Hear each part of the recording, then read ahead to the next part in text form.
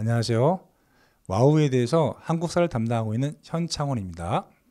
2024년도 커리큘럼에 대해서 설명을 해드리도록 하겠습니다. 우선 제 소개를 간단히 하면은 쌤 이제 연세대 사학과를 졸업했고요. 그러니까 즉 전공자겠죠. 전공자로서 4년 동안 충분히 한국사에 대해서 공부를 했고요. 그리고 난 다음에 쌤이 이제 고등학교 교사를 하다가 그만두고 이제 학원을 오게 되는데 자 학원은 제가 수능으로 가지 않고 이제 공무원 학원이죠 공무원 학원에서 10년 이상 강의하고 있다가 되겠습니다 그래서 쌤이 이제 전문적인 공무원 한국사 강사니까 여러분들은 믿고 들으시면 되겠습니다. 그리고 현재 창원중앙공무원학원은 전입이고 그리고 이제 온라인이죠. 온라인에서는 와우에 대해서 강의를 하고 있다가 되겠습니다.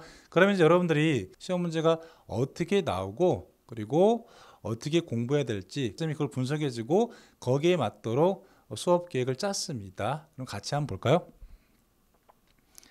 자, 최근 우리 공무원 한국사는 문제가 쉽게 나옵니다.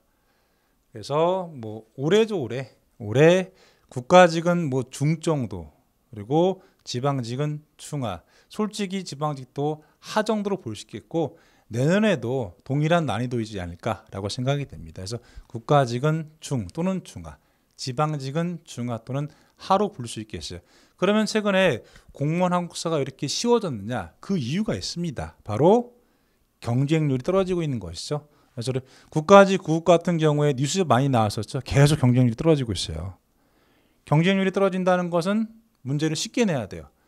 경쟁률이 높을 때는 문제를 어렵게 내야 가지고 많이 떨어뜨려야겠죠. 근데 경쟁률이 낮아지다 보니까 이제는 덜 떨어뜨려야 돼요. 그렇기 때문에 문제가 쉬워지고 있다. 그리고 지방직이죠. 근데 지방직은 경쟁률이 유지되고 있어요. 계속 10대 1 정도 되는데 올해도 경쟁률이 10대 1 정도 있다. 그러면 지방직은 그래도 경쟁력이 죽지 않고 있다. 행안부 관계자에 의하면은 작년에 비해서 지방직 채용 인원이 줄었어요. 채용 인원이 줄었기 때문에 경쟁률이 떨어지지 않았다라고 볼 수 있겠고 전통적으로 지방 학생들이 지방에 머물고 싶잖아요. 그렇기 때문에 지방직은 여전히 좀 경쟁률은 유지된다라고 볼 수 있겠습니다. 그래서 여러분들이 최근에 뭐 경쟁률도 낮아지고 문제가 쉬워지고 있다고 너무 방심하지 마시고 어, 제대로 공부를 해야 여러분들 합격할 수 있는 점수가 나을 것 같습니다. 예. 그래서 이제 기출 유형을 볼게요. 그래서 우리 한국사 어, 공무원 시험의 유형은 이제 두 가지가 있어요. 이론형이 있고 사료형이 있는데 사료형 문제가 훨씬 많습니다. 그래서 20문제가 나오는데 그 중에서 대략 한 16개나 17개 정도가 사료형 문제고 한 3, 4개 정도가 이론형 문제가 되겠습니다. 그래서 이론형 문제도 둘로 구분할 수 있는데 우선 이론형 가는 직접 출제자들이 어느 왕이나 어떤 단체를 던져주고 묻는 문제가 되겠습니다. 대표적인 문제가 이제 올해죠. 올해 지방직에 있었던 세종대학 문제가 되겠어요. 그래서 세종을 직접 던져주면서 세종의 업적을 고르라고 하는 것이죠. 그래서 아주 간단한 문제 아니겠습니까? 그래서 공부를 조금만 해도 이 넷 중에서 세종이 아닌 것을 알 수 있는 것이죠. 이런 문제들이 가장 기초적인 문제가 되겠어요. 그리고 나 시기 문제가 되겠습니다.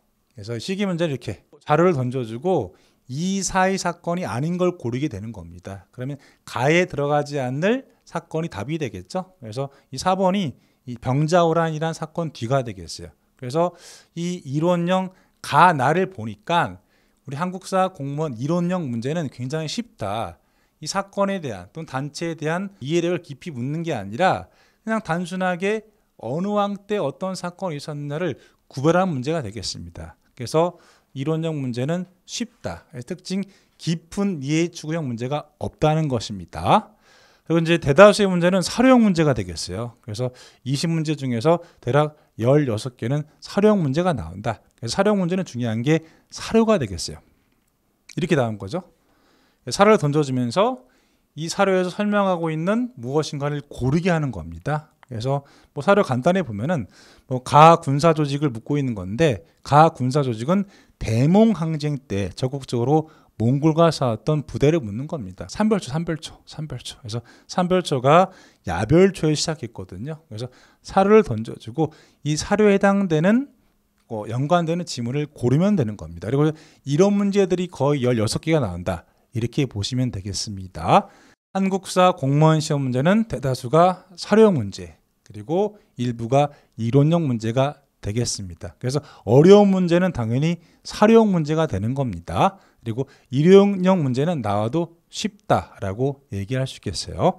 기초를 분석했으니까 여기에 맞는 공부를 해야겠죠. 먼저 이론을 공부해야겠죠. 그래서 이렇게 이론서가 있어요. 쌤 이론서가 테마노트 지금 테마노트라 되어 있는데 이 책으로 이론을 공부합니다. 그리고 다음에 사료를 또 따로 공부해야 돼요.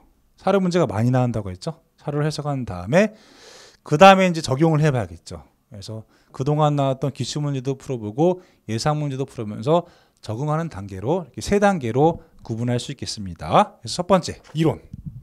자, 이론 공부는 이제 7, 8월 달부터 시작되는 거 아니겠습니까? 그래서 올인원 반인데 이 올인원 반에서의 교재, 교재는 바로 이 테마노트 가 되겠어요. 근데 이 책 이름이 좀 바뀔 수도 있는데 페이지는 대략 300페이지가 넘죠? 넘는데 이렇게 full color, 풀 칼라로 돼 있고요.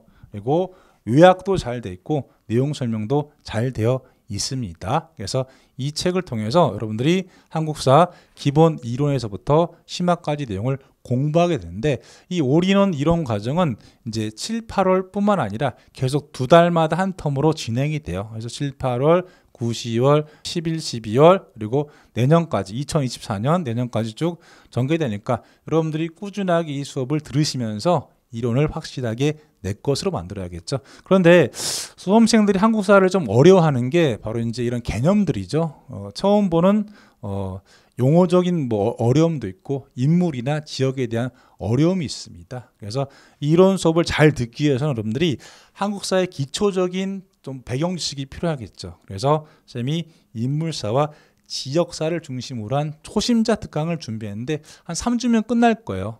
이런 수업을 듣기 위한 뭐 밑바탕이죠. 어, 배양분을 삼게 되겠습니다.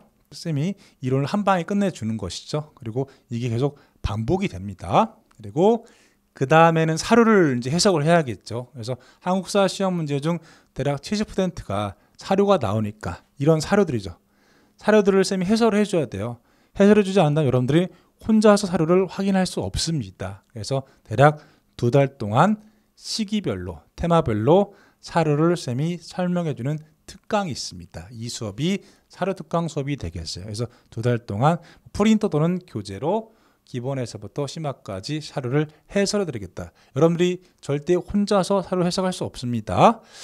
자, 이렇게 해서 이론과 사료를 공부했으니까 이걸 적용해야겠죠. 적용하는 마지막 단계가 바로 문제풀이 단계가 되겠죠. 그래서 12, 12월 달에 역대 기출 문제죠. 10년 동안의 기출 문제를 쌤과 함께 풀게 되겠죠. 물론 여러분들이 혼자 풀 수 있지만 혼자 풀면 실력이 늘지 않아요. 그래서 쌤이 설명해 주면서 출제자의 의도죠. 의도 같은 걸 들어야 돼요. 그리고 답이 될 게 무엇이고 오답이 될 게 무엇인가를 쌤이 알려주거든요. 문제풀이 스킬 같은 걸 알려주기 때문에 여러분들이 이 수업을 꼭 들어야 됩니다. 그래서 이 수업의 이제 교재는 이렇게 뭐 테마 기출 문제집이라고 있어요. 그래서 이 기출 문제집으로 진행이 될 겁니다.